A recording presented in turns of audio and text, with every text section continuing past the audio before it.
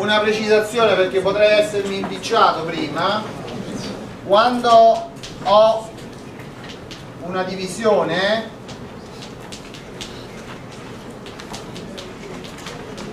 cioè una scrittura di questo tipo P è il dividendo, S è il divisore, Q è il quoziente e R è il resto ovviamente quando andiamo a dividere per S qui rimane Q mi sembrava di aver fatto bene però mi è stato segnalato che avevo scritto S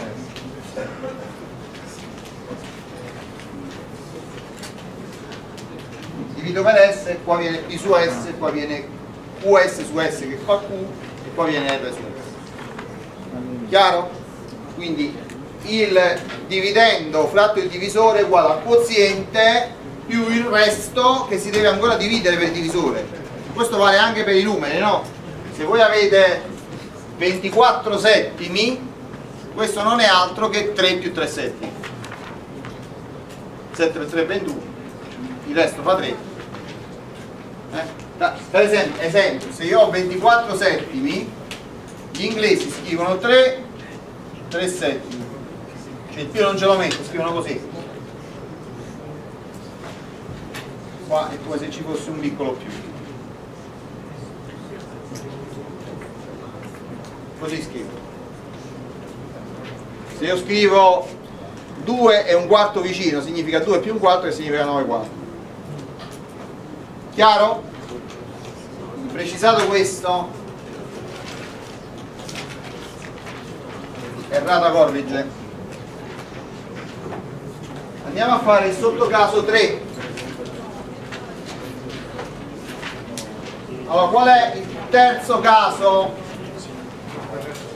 Allora noi abbiamo fatto i casi in cui le radici di S sono reali e distinte oppure sono reali e coincidenti e che caso ci è rimasto? è il caso in cui le radici siano complesse quindi stavolta S di X lo scrivo così, lo scrivo come X quadro più 2 alfa X più beta qual è la condizione affinché le radici siano complesse e che il discriminante eh, sia negativo? Cioè alfa quadro meno beta deve essere eh, eh, negativo.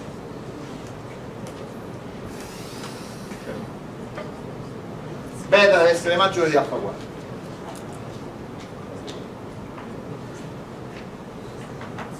allora andiamo a fare quindi l'integrale tra eh, l'integrale senza estremo di ax più b fratto x quadro più 2 alfa x più beta in dx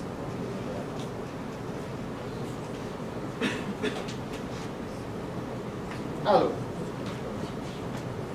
questo come lo posso scrivere? lo posso scrivere come l'integrale di ax più beta fratto x più alfa al quadrato più beta meno alfa quadro in dx Beh, se ci fate caso quando vado a fare questo quadrato mi viene x quadro e ci sta.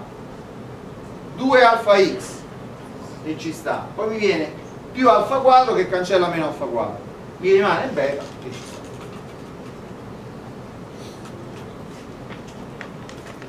per comodità questo nuovo numero chiamiamolo gamma quadro. Quindi posso riscrivere il tutto così integrale di ax più b fratto x più alfa al quadrato più gamma quadro in dx è un numero positivo quindi è il quadrato di qualche cosa quindi va bene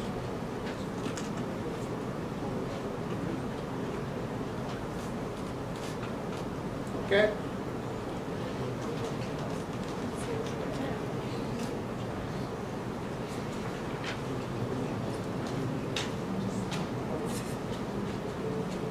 ora però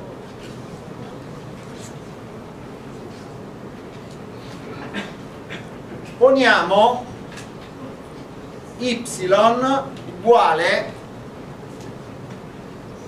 eh, a x più alfa fratto gamma cioè in buona sostanza vogliamo che x più alfa faccia, faccia gamma y allora questo qua, questo integrale chi diventa?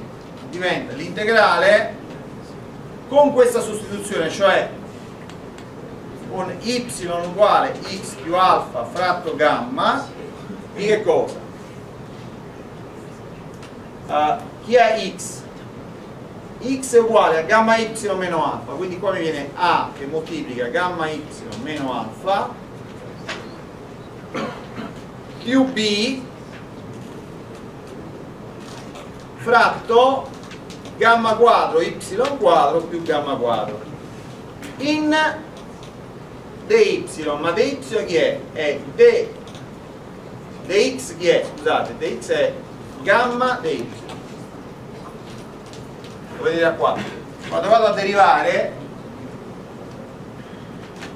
dx è uguale a gamma dy o se preferite dy dx è uguale a 1 su gamma ok. Continuo qua. Uguale. Questa sostituzione la, la scrivo qua poi me la ricorderò dopo. Ma adesso non me la porto appresso. Quindi questo è uguale a gamma per l'integrale di A per gamma per Y meno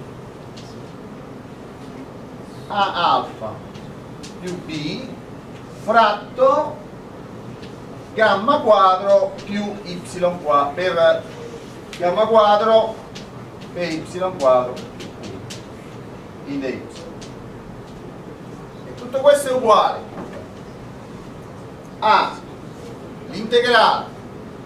Allora, questo per questo diviso questo fa a y fratto y quadro più 1 in dy e poi mi rimane la costante meno eh, più gamma che moltiplica b meno a alfa per l'integrale di poi qua c'è gamma quadro sotto 1 fratto y quadro più 1 in y allora questi due integrali sono due integrali immediati scusate io cambio un po' posizione ogni volta perché la lavagna è grande ma non abbastanza allora questo chi è? se ci fate caso questo è a mezzi per il logaritmo di y quadro più 1 perché la derivata del logaritmo di y quadro più 1 quanto fa? 1 fratto y quadro più 1 per 2y 2 e 2 si semplifica rimane la y là sta poi qua che cosa mi rimane? mi rimane b meno a alfa fratto gamma per l'arco tangente di y. E poi ci devo mettere la costante. Quindi lo riscrivo qua sopra a mezzi per il logaritmo di 1 più x più alfa fratto gamma al quadrato perché y è uguale a x più alfa fratto gamma più b meno a alfa fratto gamma per la cotangente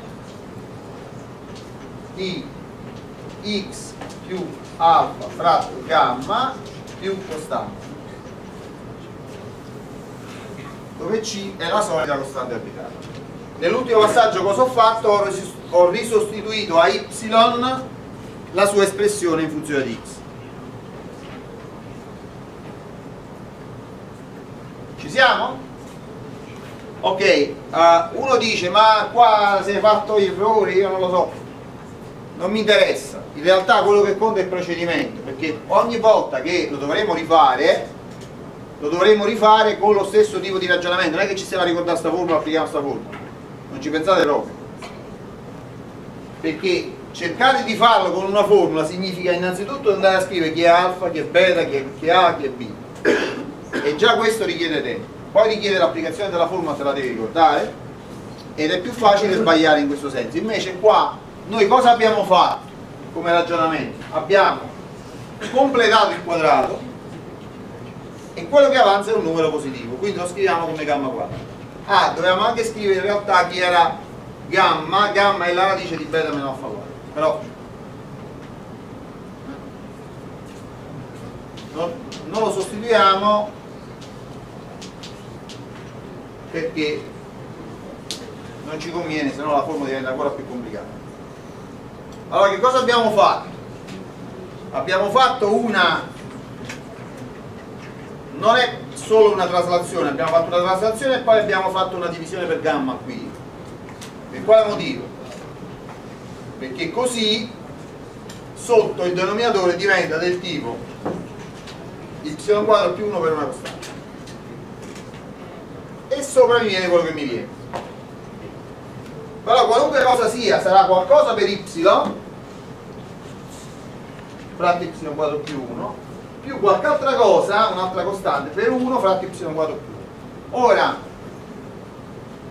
la primitiva di y fratto y quadro più 1 è un mezzo logaritmo di y quadro più 1, è un integrale immediato. E una primitiva di 1 fratto y quadro più 1 è la tangente di y. Quindi andando a calcolare questi due integrali, sostituiamo. Adesso facciamo un esempio. Tra l'altro lasciamo nell'esempio lasciamo indicato il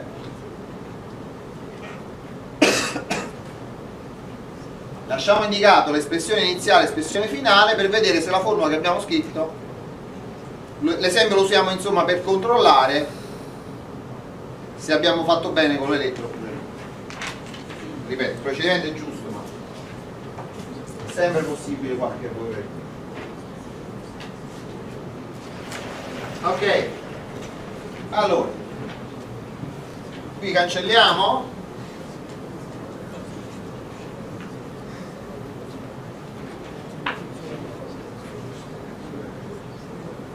E andiamo a fare eh, l'integrale di 4x quadro più 5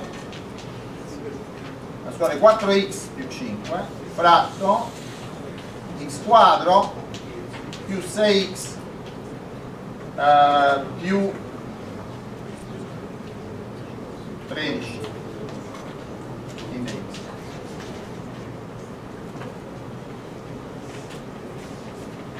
Uh, ci ho pensato un attimo giusto per cercare di fare in modo che gamma non venga con la radice ma tanto se viene, pure veniva con la radice non allora, come lo posso scrivere questo integrale? Questo integrale lo posso scrivere come integrale di 4x più 5 fratto x più 3 al quadrato più 2 al quadrato.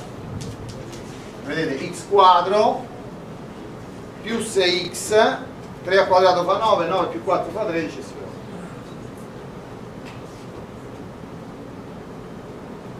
Quindi adesso qual è la posizione da fare? La posizione da fare è y uguale x più 3 diviso 2 quindi cosa viene qua? quindi x uguale 2y meno 3 quindi qua viene 4 che moltiplica 2x meno 3 eh, 2y meno 3 scusate. Più 5 sottoviene eh, 4 che moltiplica y quadro più 1 in y quindi mi diventa integrale a qui abbiamo 8y fratto 4 fa 2y fratto y quadro più 1 in dy più anzi meno qua viene meno 12 più 4 più 5 fa meno 7 quindi viene meno 7 quarti. E l'integrale di 1 fratto y quadro più 1 in dy uguale. A 2y fratto y quadro più 1 la primitiva è logaritmo di y quadro più 1 quindi viene logaritmo di x più 3 mezzi al quadrato più 1 più anzi meno 7 quarti per l'arco tangente x più 3 mezzi x più 3 mezzi più la costante allora vediamo un po' ma qua mi doveva venire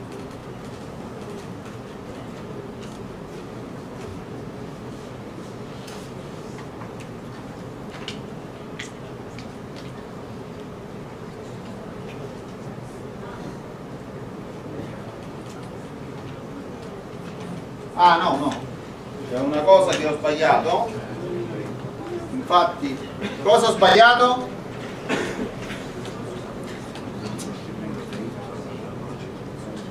dy è, d, è x è la 2 dy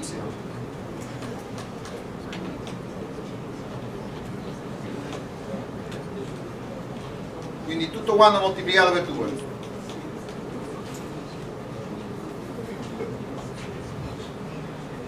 quindi qua mi viene 2 qua mi viene meno 7 perché? perché quando ho fatto la sostituzione x era 2y meno 3 questa era più 5 questo ho fatto la sostituzione poi mi devo ricordare che dx è uguale a 2 dy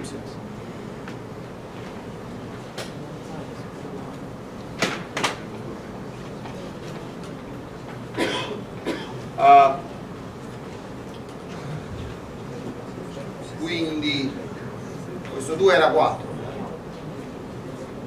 quindi qua è 2 eh, qua ho sì, adesso è corretto allora vediamo un po' a mezzi come me ne sono accorto andando ad applicare la formula stavolta ce l'avevo scritta. A mezzi A faceva 4 a mezzi fa 2 per logaritmo di 1 più x. Alfa faceva 3 più 3 fratto 2 gamma faceva 2 al quadrato. Più qua devo fare 5 alfa faceva 3 a faceva 4 5 meno 12 fa meno 7 mezzi perché gamma vale 2 meno 7 mezzi. Per l'arco tangente di x più 3 mezzi. Più la costante a quindi come avete visto?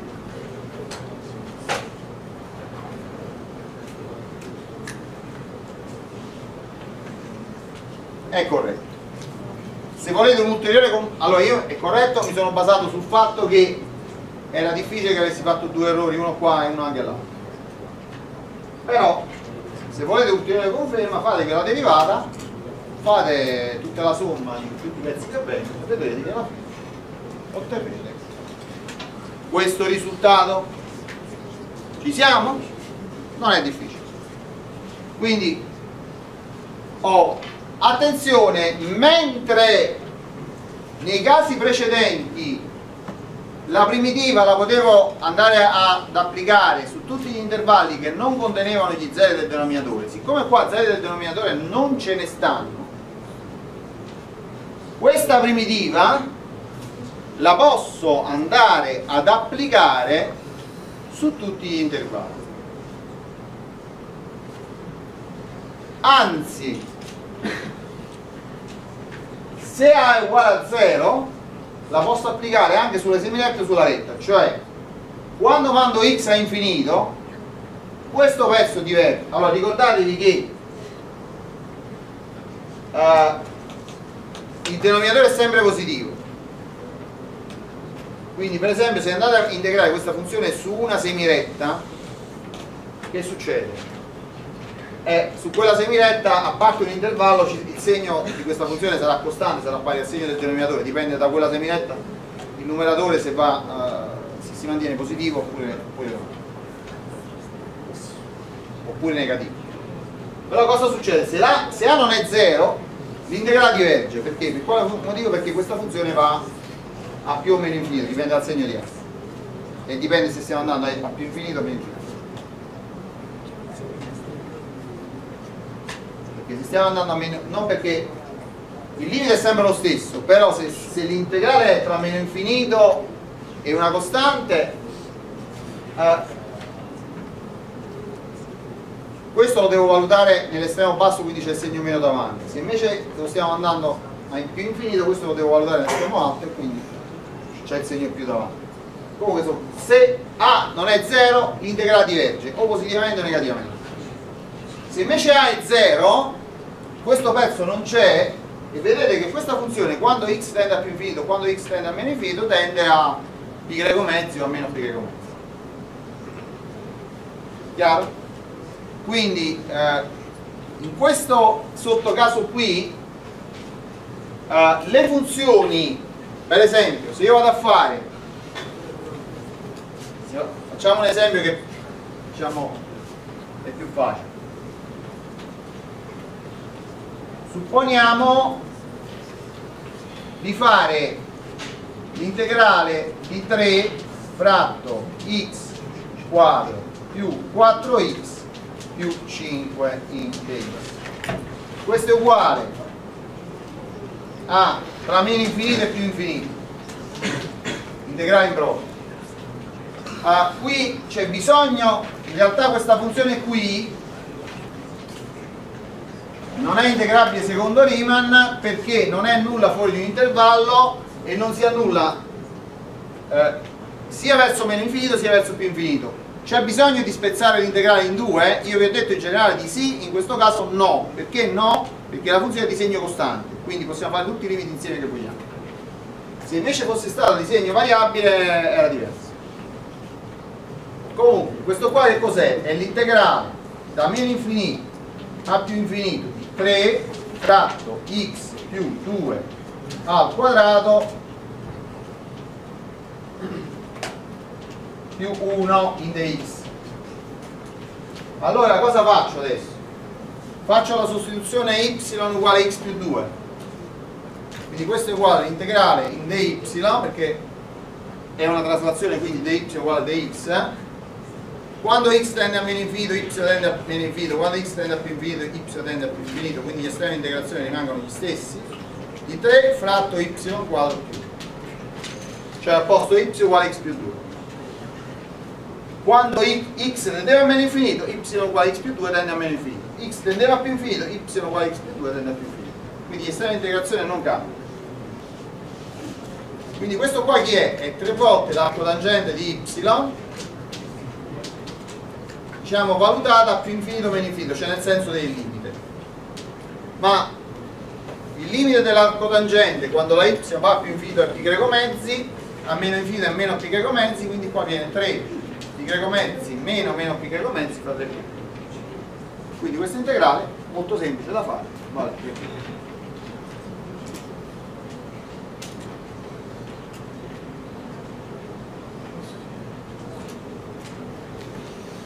È chiaro? Adesso lo facciamo diventare più chiaro. Scommetto che non è chiaro questo passaggio qua, da qua a qua. Allora, la funzione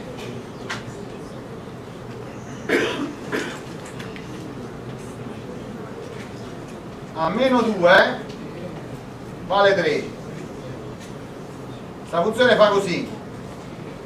Questa. Qua c'è la x. E qua usiamo un'altra variabile chiamiamo t perché la x poi la devo fare la transazione devo chiamare y adesso cosa ho detto? allora vedete questo integrale qua chi è? è l'area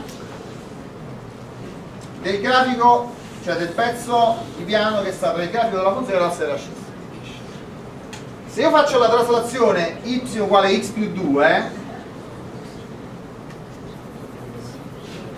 la nuova variabile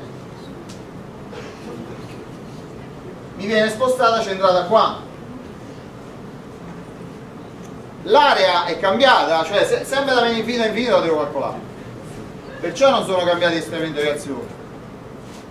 Cioè sto dicendo semplicemente che se tu trasli una figura che è illimitata, che si estende da infinito a più infinito, l'area non cambia e gli estremi integrazioni rimangono gli stessi. E quando valeva quest'area, si va a fare il conto, si vede che valeva 3 Y, sia prima del Perché? Perché al colangente di Y, per Y che tende a più infinito tende a π mezzi, a meno infinito tende a meno pi greco mezzi quindi io devo fare 3 che moltiplica pi greco mezzi meno meno pi greco mezzi. Il totale viene 3 pi greco. Chiaro adesso? ok. Va bene. Allora adesso andiamo a fare quelle di grado. Se no quando affittiamo? Di grado qualunque. La bellezza del metodo di Hermit sta proprio che hai fatto quelle di grado 1 hai fatto quelle di grado 2 adesso sei in grado di affrontare quelle di grado qualunque.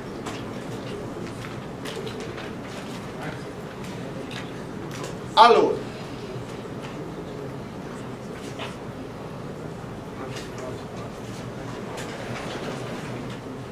prima di andare a fare quelle di grado qualunque vediamo un attimo che ne so se ci sta tempo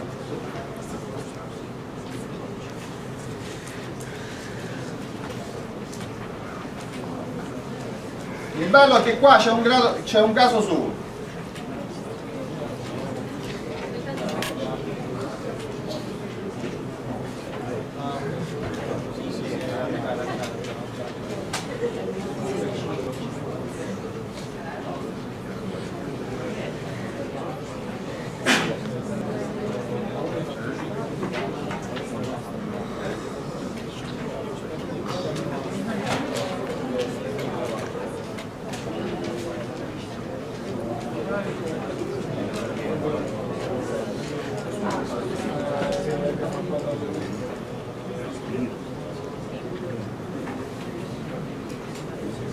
allora andiamo a illustrare il seguente lemma di Armit teorema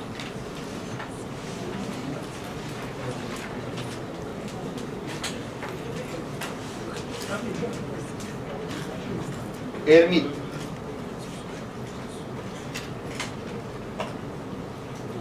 Allora cosa dice questo teorema?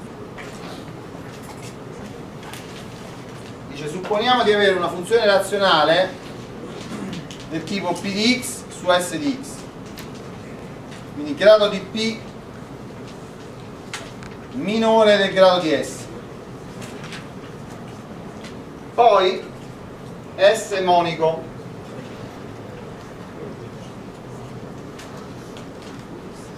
quindi come si scrive s? s si scriverà come?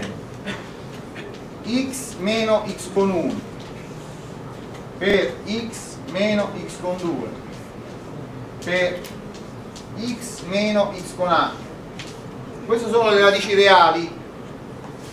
Poi abbiamo ogni radice reale però la devo elevare a quella che si chiama la sua molteplicità cioè può darsi per esempio che la radice x con 1 compaia tre volte. Allora ci sarà x meno x con 1 alla 3 quindi questi qua sono numeri interi positivi. Poi abbiamo x meno eh, come lo vogliamo chiamare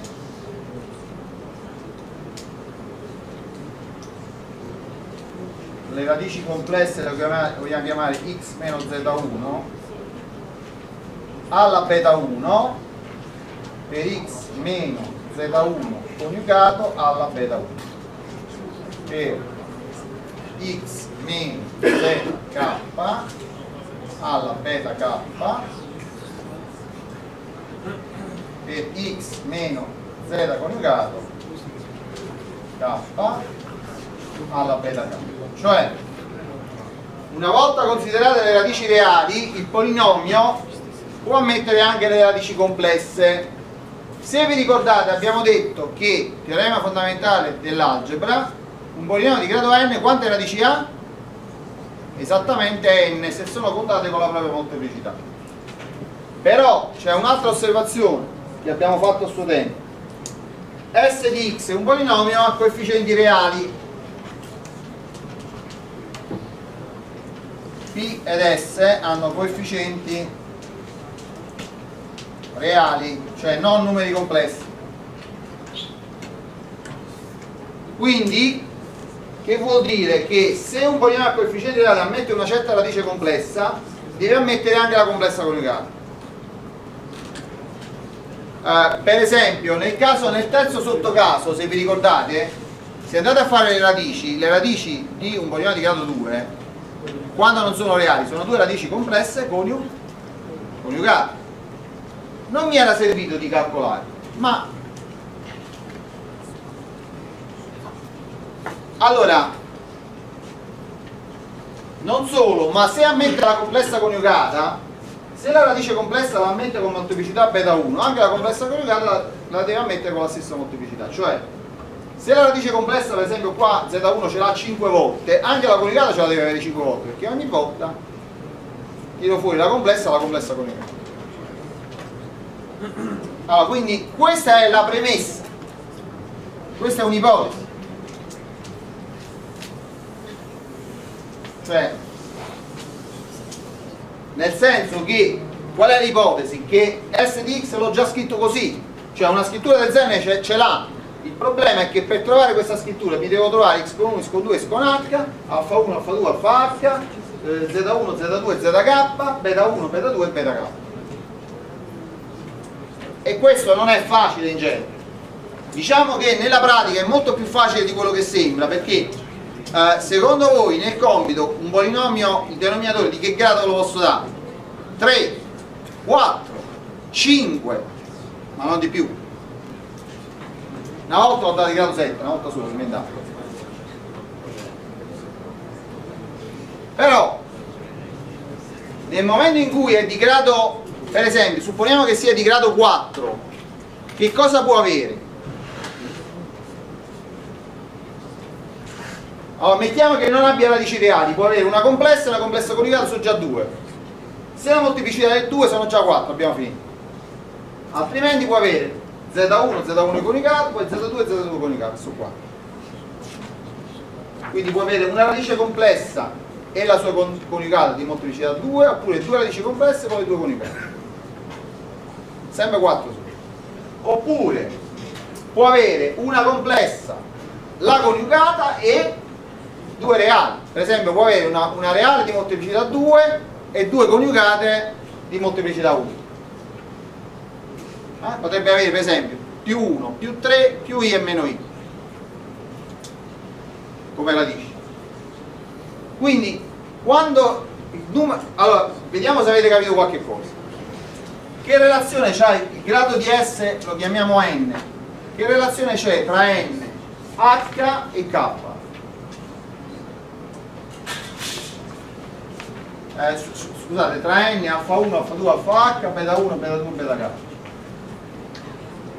n è uguale ad alfa 1 più alfa 2 più alfa h più due volte beta 1 più beta 2 più beta k questa è la relazione che c'è per forza perché da qua quante radici escono? alfa 1 da qua quante radici escono? alfa 2 da qua quante radici escono? alfa h da qua ne escono beta 1 ma pure da qua ne escono altre beta 1 quindi sono due volte beta 1 due volte beta 2 due volte beta 3 due volte beta k e quelle sono tutte le radici le radici in totale devono essere n, fine del discorso. È chiaro che se n è basso, per esempio se n è 3, eh, qual è la possibilità? O qua ci sta alfa 1, alfa 2, alfa 3, oppure ci sta alfa 1 uguale a 1 scusate, o, o ci sta. 3 radici e potete avere le molteplicità distribuite come pare. Potete avere che ne so 3 una di molteplicità 3 2 di molteplicità 2 1 oppure 3 di molteplicità 1 1 e 1 oppure ci sta una radice reale una radice complessa e la complessa coniugata su 3 cioè quindi quando n è piccolo le possibilità si esauriscono subito basta riflettere un attimo è chiaro? ora il lemma di Hermite interessantemente non ha nulla a che fare con apparentemente con l'integrazione mi dice semplicemente che esiste un'unica combinazione di A1 A B1 BK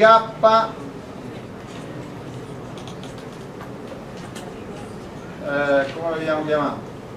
C1 tanto sul maiuscolo quindi non si confondono CK e un, è un unico.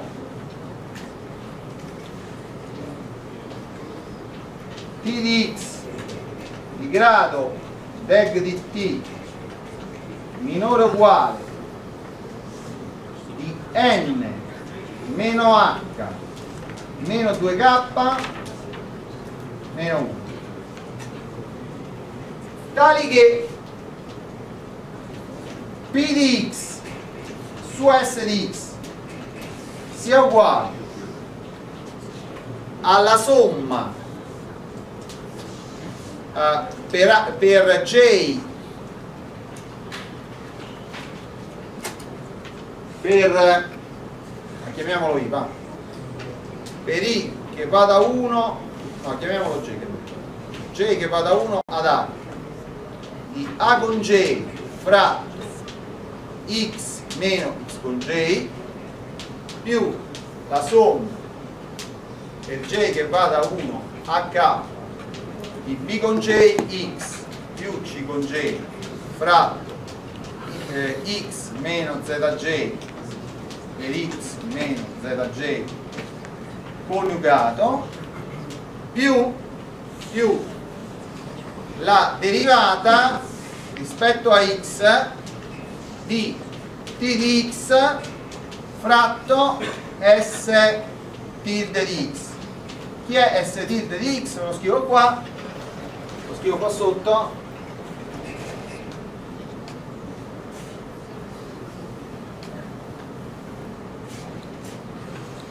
S tilde di x è uguale a x meno x con 1 all'alfa 1 meno 1 per x meno x con 2 all'alfa 2 meno 1 per eh, x meno x con h all'alfa h meno 1 per x meno z1 alla beta 1 meno 1 per x meno z1 coniugato alla beta 1 meno 1 per x meno zk alla zk meno 1 per x meno zk coniugato alla beta k meno 1 cioè è lo stesso polinomio di prima è lo stesso polinomio di prima dove tutte le radici sono, tutte le molteplicità sono scese di 1 allora questo polinomio che grado ha? grado di S tilde quant'è? Quant'è? N meno H meno 2K perché diciamo ogni volta che tolgo una molteplicità. Agli alfa, gli alfa sono H e ne devo togliere H. Ai beta lo devo togliere per ogni beta devo togliere due uno di qua, uno per la cosa della almeno due gradi. E allora questo qua è un polinomio di grado 1 in meno rispetto a questo. E questo lo posso scrivere così.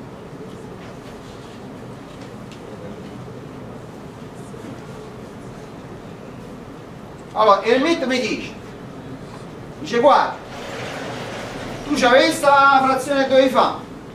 Questa te la puoi scrivere come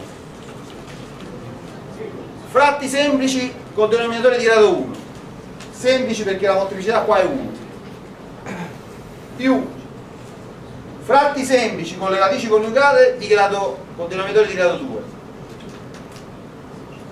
che vedete qua c'è un polinomio di grado 1 qua c'è un polinomio di grado 2 poi quello che rimane te lo puoi scrivere come la derivata di un'altra funzione razionale dove questo c'ha grado n meno h meno 2k e questo c'ha grado 1 inferiore rispetto a questo chiaro? Oh, lasciamo stare perché funziona cioè Hermite l'ha dimostrato lo dobbiamo dimostrare noi questo qua? no, però funziona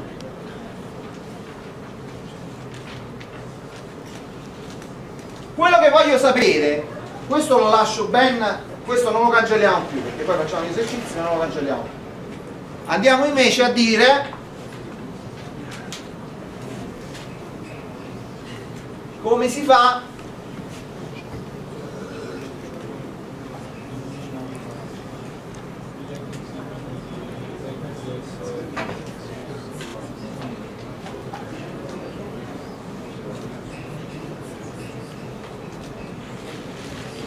allora sotto questa ipotesi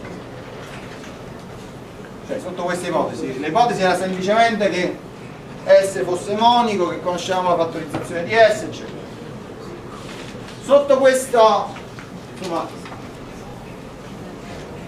con questa scrittura se io adesso voglio andare a fare l'integrale di P di x fratto S di x in dx che devo fare?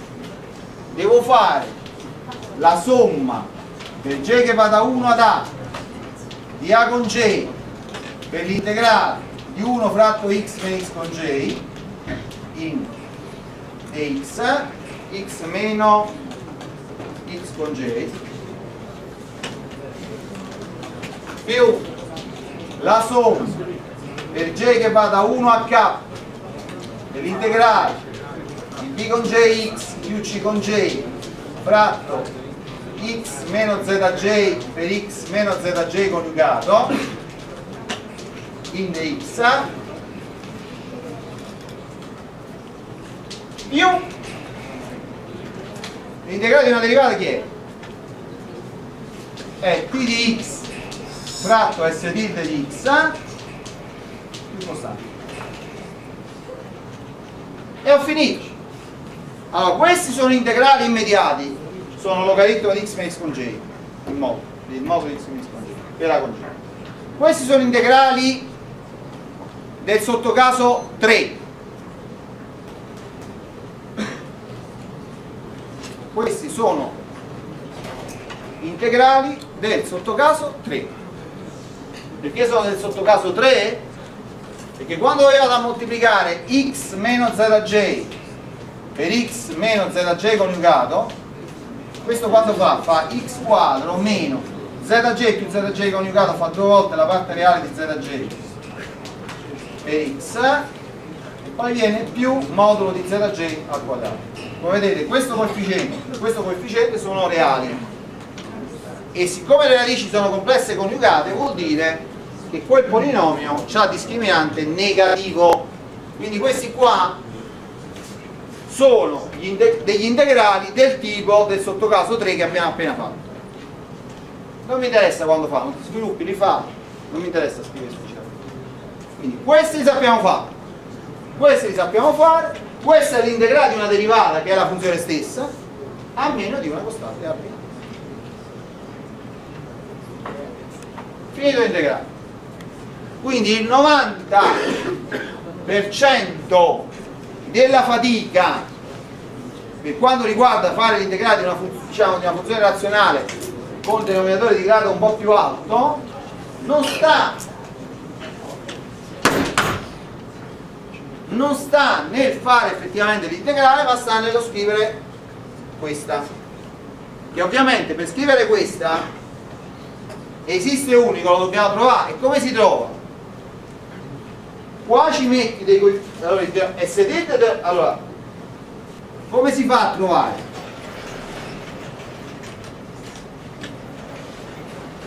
S ce l'hai, perché supponiamo di aver fatto la parametrizzazione.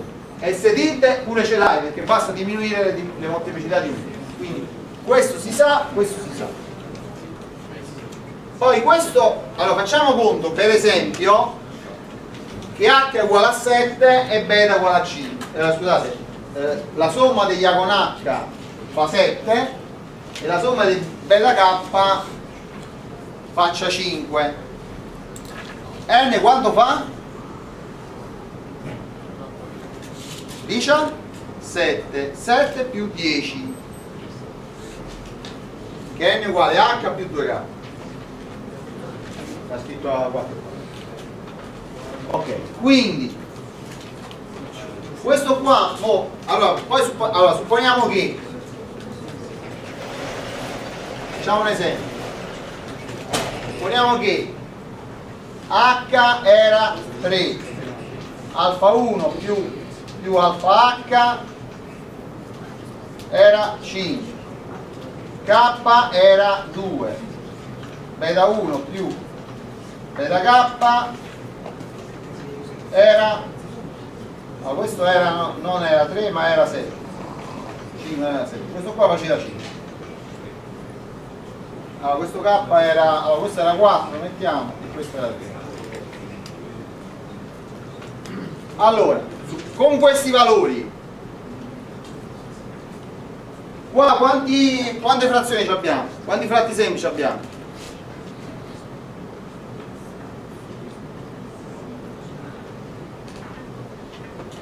G va da 1 a H H vale 4 quindi quanti sono questi fratti semplici? 4 quante costanti ci mancano? le dobbiamo determinare? 4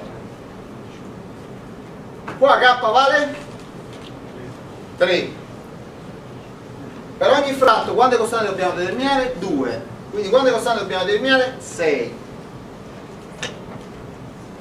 S dite che, che mh, mm, grado ha? S aveva grado? 7 più 10 17 S dite che grado ha?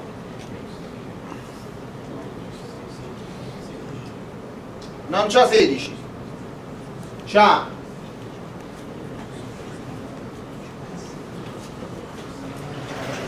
Diciassette meno 3 anzi meno 4 meno 6 perché H era 4 e K era 3 quindi 17 meno 10 questo c'è grado 6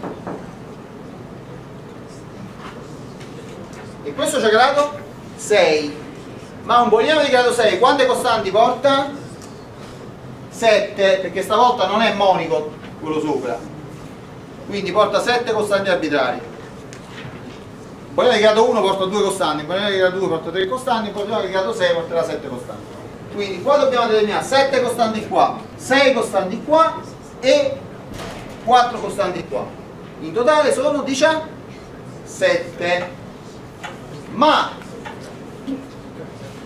quando andiamo a scrivere tutto questo ambaradam e andiamo a fare la somma otteniamo al denominatore un polinomio di grado 17 A che, che sarà S e al numeratore un polinomio di grado 16 che dovrà essere uguale a P.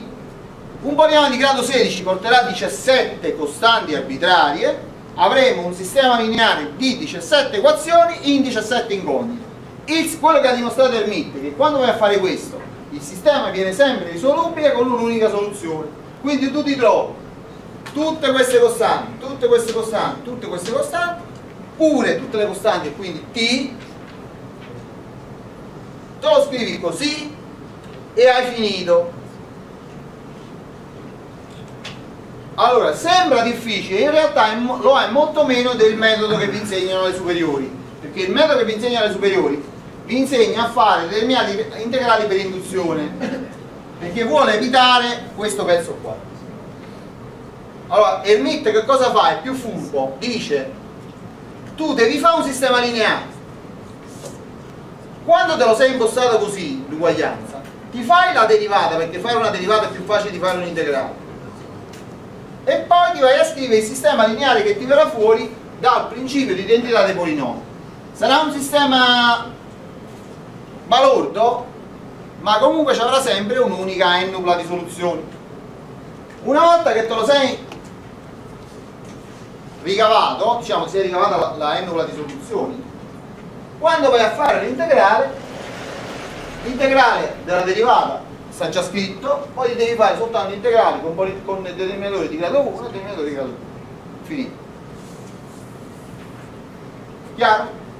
quindi se applichiamo questo metodo e impariamo ad applicarlo poi adesso dopo la pausa faremo un paio di esempi. Ovviamente non prenderemo S di grado 17 prenderemo S di grado 3 di grado 4 ah, e quindi uh, andremo a fare eh, questo sistema. Una volta fatto il sistema eh, avremo che il nostro integrale sarà ricondotto a integrale di funzioni razionali con denominatore di grado 1 e 2 che sappiamo già fare. Punto 啊。